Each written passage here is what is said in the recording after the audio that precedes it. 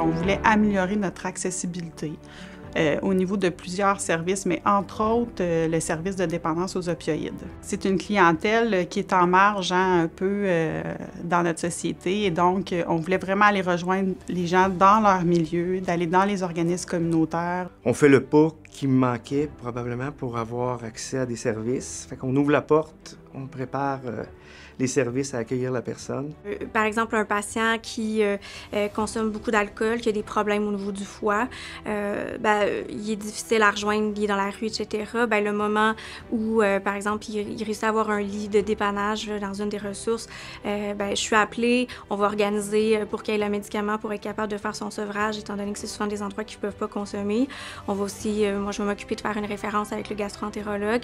L'infirmière va s'assurer d'aller faire un suivi. Cette année, il y a eu 350 consultations de suivi psychiatrique et de toxicomanie en traitement des dépendances aux opioïdes.